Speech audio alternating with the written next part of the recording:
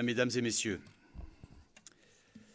alors que le régime de Vladimir Poutine s'enfonce chaque jour un peu plus sur le chemin d'une guerre injustifiable contre l'Ukraine et s'enfonce dans une répression massive contre la société civile russe, je tenais à être des vôtres pour réaffirmer le soutien de la France à Mémorial, qui depuis plus de 30 ans, cela a été rappelé tout à l'heure, représente tout ce que cette double dérive vient brutalement nier. Mémorial, dont l'avenir est aujourd'hui très gravement menacé en Russie. Je tiens donc à remercier euh, chaleureusement Nicolas Vert et Alain Blum qui, au nom de l'association Mémorial France, m'ont invité à m'exprimer devant vous à l'issue de votre après-midi de discussion dont nous venons d'entendre la fécondité. Elle montre euh, à quel point la parole des historiennes et des historiens doit compter aujourd'hui. Car pour nous orienter dans le moment saturé d'historicité dans lequel nous nous retrouvons tous plongés, nous avons besoin de vous, de vos savoirs, de votre regard et de votre vigilance. Ce moment, c'est d'abord euh, un moment où chacun sent revenir, revenir au cœur même de notre continent les échos les plus douloureux du siècle passé. L'agression militaire que Vladimir Poutine, au mépris du droit international, a fait le choix irresponsable de lancer contre l'Ukraine marque le retour en Europe, après des années de paix et plusieurs décennies de stabilité, le retour euh, de la guerre, au sens euh, le plus strict et le plus canonique du terme, une offensive militaire de très grande ampleur lancée par un État contre un autre État, dans le but euh, d'envahir son territoire et par la force de lui imposer euh, sa volonté. Les colonnes de blindés sur les routes, les villes assiégées, l'exode des réfugiés sous les bombardements, ces images, et tant d'autres qui ne cessent désormais de nous hanter, ravivent les souvenirs de toutes les heures sombres du XXe siècle. Bien sûr, euh, comparaison n'est pas raison, mais nous avons tous pensé à 1914, à 1939, à 1956, à 1968, à 1992, le siège de Sarajevo, à 1999, le Kosovo, et à chacune des années terribles de cette longue tragédie européenne. D'autant, et comment l'oublier en y voyant revenir la guerre, que l'Ukraine fut au centre de ce que l'un de vos confrères a appelé les terres de sang de notre continent. Le moment que nous vivons est aussi, très objectivement, un, moment de régression historique. Régression historique. Parce qu'il viole les principes cardinaux du droit international et de l'ordre de sécurité européen.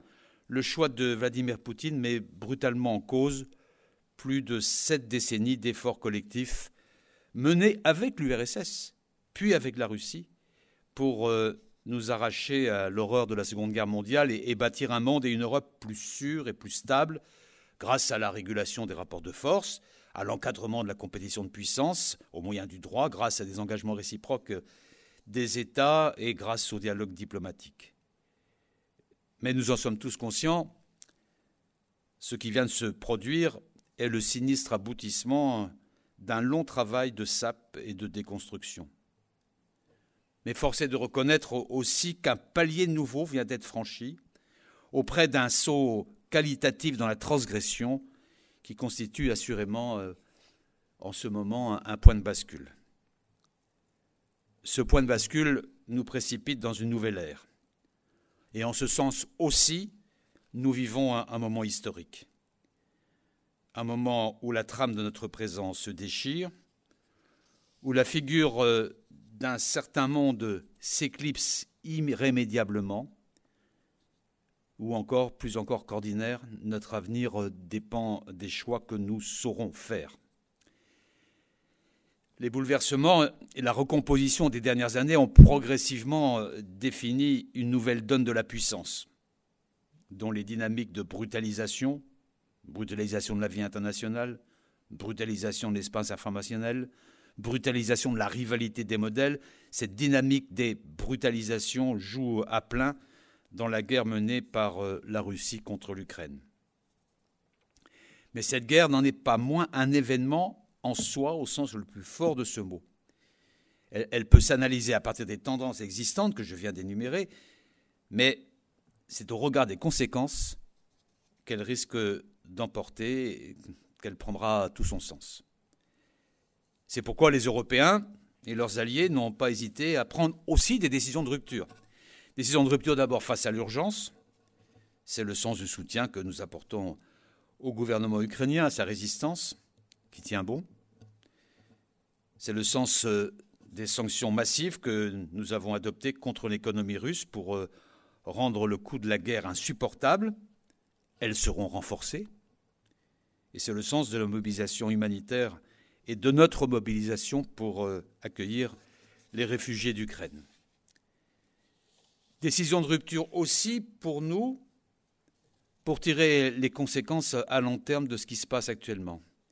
Et c'est tout l'objet du sommet qui se commence dans un instant, ou qui a peut-être déjà commencé, consacré à l'avenir de notre modèle européen et de notre souveraineté européenne qui se tient à Versailles autour du président de la République. Et c'est ce que nous continuerons à faire tout au long des semaines et des mois à venir. La France, qui assume ce semestre la présidence du Conseil de l'Union européenne, a une responsabilité particulière à cet égard que nous entendons assumer pleinement. Les échos du XXe siècle européen, le choc euh, d'une régression majeure de la vie internationale, l'expérience d'une bascule vers le vif de l'histoire, ces différents niveaux d'historicité dont je disais que le moment actuel était comme saturé, ces différents niveaux se télescopent, s'entremêlent, s'interpénètrent, au risque même de la confusion. Il est encore un autre niveau d'historicité, non moins crucial, inscrit au cœur du moment présent. C'est que la guerre engagée par la Russie contre l'Ukraine est très ouvertement la manifestation d'un révisionnisme à main armée. Le discours euh, prononcé par euh, Vladimir Poutine le 21 février dernier pour apporter un semblant de justification à sa décision de reconnaître l'indépendance des deux républiques fantoches euh, du Donbass le discours qui a donc ouvert la voie au lancement d'une offensive militaire de grande ampleur contre l'Ukraine a pris la forme d'un propos largement centré sur le passé de l'Ukraine et de la Russie, du même acabit que l'essai publié l'été dernier par le même Vladimir Poutine au sujet de ce qu'il considérait, je cite sa formule, l'unité historique des Russes et des Ukrainiens. Formule évidemment problématique, puisqu'elle pose comme un fait ce que la pseudo-démonstration qu'elle introduit est censée montrer. Nombre d'historiens ont immédiatement contesté la, validité des, arguments biaisés, sophistiqués et souvent mensongers avancés par euh, Vladimir Poutine dans ces deux textes de référence. Je ne vais pas y revenir, ce n'est pas mon rôle de revenir là-dessus. Mais ce que je veux dire en revanche, en tant que responsable politique, d'un pays où des voix s'élèvent également, parfois malheureusement pour tenter de réécrire l'histoire, c'est que la théorisation du révisionnisme historique a servi à justifier, sert à justifier, la mise en œuvre d'un révisionnisme géopolitique. Et que ce double révisionnisme aboutit aujourd'hui à la négation, par des actes de guerre, de l'intégrité territoriale de l'Ukraine dans ses frontières internationalement, internationalement reconnue, la négation de la souveraineté de l'Ukraine et, in fine, en droit même, la négation de la nation ukrainienne. Une même violence s'exprime dans le discours qui présente l'Ukraine comme euh, le produit d'une série de prétendues erreurs historiques et dans le déploiement des moyens militaires pour corriger ces erreurs. Expression que j'emploie bien sûr avec euh, tous les guillemets et toute la distance qui s'impose. C'est une violence à l'endroit de la nation ukrainienne, qui montre pourtant par sa résistance, sa détermination, sa volonté de s'imposer comme sujet de sa propre histoire. C'est une violence à l'égard des faits, et pas simplement à l'égard des faits historiques. Marc Bloch disait que la compréhension du présent naît fatalement de l'ignorance du passé, c'est vrai, Mais aujourd'hui, nous voyons se nouer euh, une autre spirale de la fausseté quand euh, la distorsion du passé se prolonge en falsification du présent. Tant il est clair et malheureusement avéré que les manipulations de l'histoire et les manipulations de l'information se répondent et se renforcent mutuellement. Et cela est particulièrement frappant et révoltant dans l'instrumentalisation et le dévoiement qui sont faits par les autorités russes des notions de dénazification et de génocide. Cela a été évoqué dans le propos introductif. Au mépris des faits donc, parce que ni le président Zelensky, ne serait-ce que pour des raisons personnelles évidentes, ni les forces politiques choisies démocratiquement par le peuple ukrainien pour gouverner le pays ne sont des nazis, des néo-nazis ou des admirateurs du Troisième Reich, comme chacun peut d'ailleurs le constater à leurs discours et à leurs actes. Au mépris des faits aussi, parce que l'idée que les populations russophones d'Ukraine seraient victimes d'un génocide n'a pas la moindre consistance, le moindre fondement et ne saurait être étayée par aucune espèce de preuve. L'instrumentalisation et le dévoiement des notions de dénazification et de génocide se font donc aussi au mépris des expériences historiques terribles auxquelles elles renvoient. C'est pourquoi la violence du révisionnisme de Vladimir Poutine est aussi une violence qui touche aux mémoires de la Seconde Guerre mondiale dans ce qu'elles ont de plus sensible. Je pense aux mémoires ukrainiennes et donc euh, européennes. Je pense dans leur diversité à nos propres mémoires européennes, mais aussi aux mémoires russes auxquelles ce travestissement honteux du passé et du présent fait injure. Que Vladimir Poutine lance contre l'Ukraine une guerre placée sous le signe d'un mésusage caractérisé de l'histoire ne vous a toutefois sans doute pas surpris, vous qui partagez l'engagement et le combat de Mémorial. Car comme vous, je constate que l'histoire et la mémoire sont depuis plusieurs années au confluent de la dérive politique et de la dérive géopolitique de ce régime. Au cœur de la fuite en avant autoritaire, qui en Russie même met à bas un à un tous les principes de l'état de droit et porte atteinte une à une à toutes les libertés publiques. Il y a en effet une politique de consolidation d'un récit historique national officiel centré sur l'avènement d'un État fort à travers les siècles, qui se double d'une politique de harcèlement et de répression systématique de tous les producteurs d'histoire susceptibles de porter atteinte à l'univocité de ce récit. Harcèlement très bien documenté et analysé dans ses différents aspects par euh, le rapport de la Fédération internationale des droits de l'homme qu'a co-signé l'un d'entre vous, Ilya Nuzov, que je salue et que je remercie pour euh, ce travail très précieux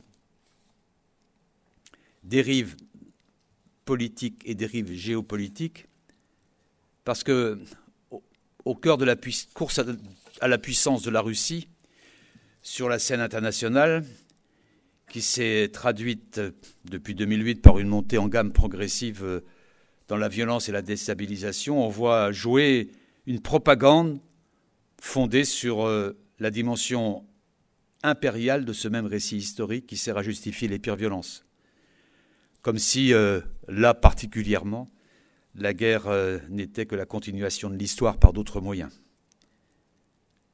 C'est pourquoi la répression contre Mémorial s'est intensifiée en 2014 lorsque la Russie a annexé la Crimée et commencé à déstabiliser le Donbass.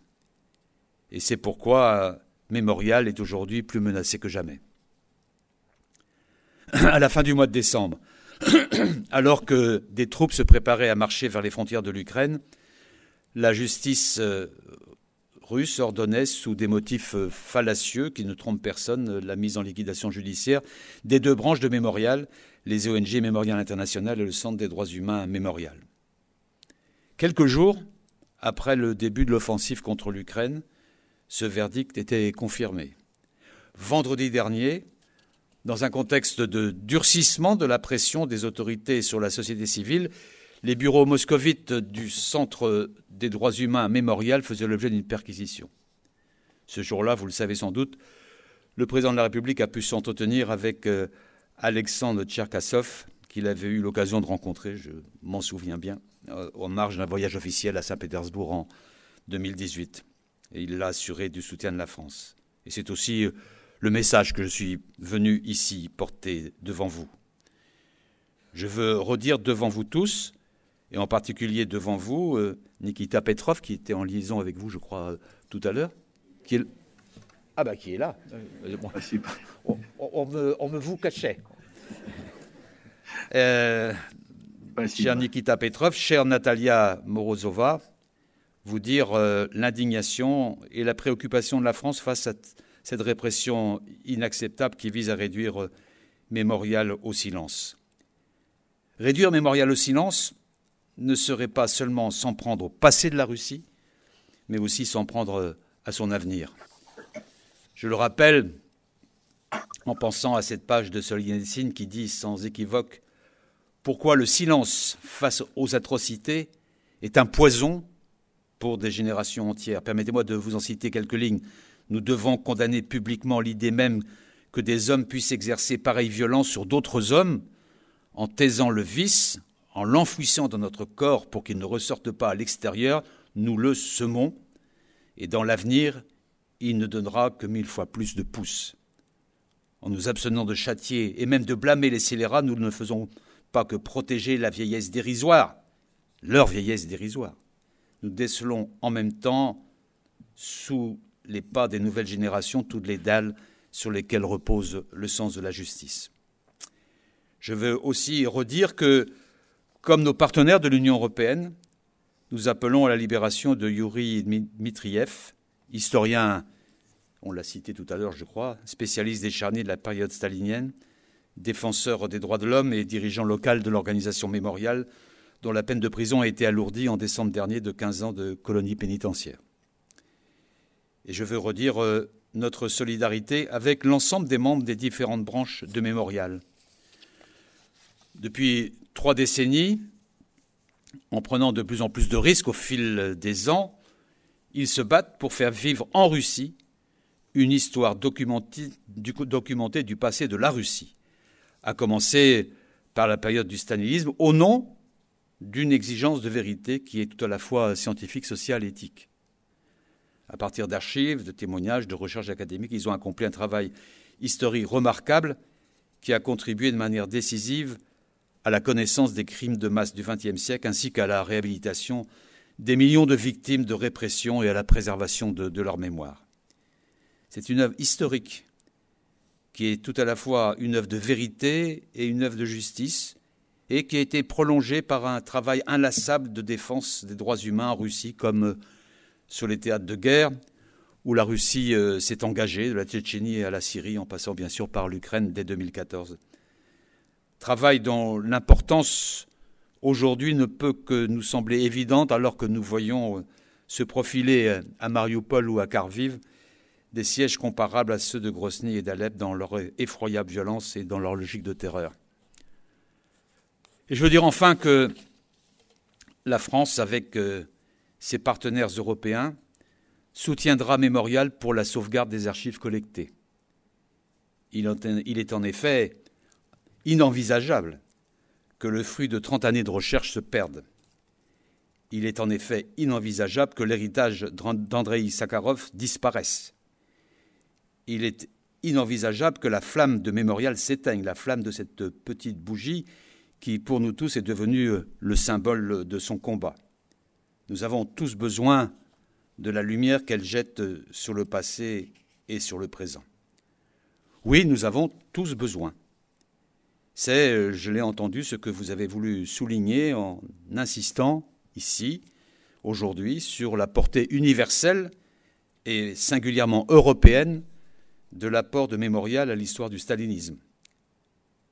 Et pour cette raison, le motif qui sert de prétexte au harcèlement judiciaire de Mémorial et de tant d'autres organisations qui défendent la liberté d'expression et les droits humains en Russie, à savoir son statut supposé d'agent de l'étranger, n'est pas seulement une triste ruse de la raison répressive et calomniatrice, ce n'est pas seulement le comble du cynisme venant d'une puissance qui a fait de l'ingérence dans l'espace public et les processus électoraux des démocraties l'une de ses spécialités, c'est aussi l'expression euh, d'une profonde mécompréhension de la valeur des travaux de mémorial et des raisons pour lesquelles un pays comme la France les soutient.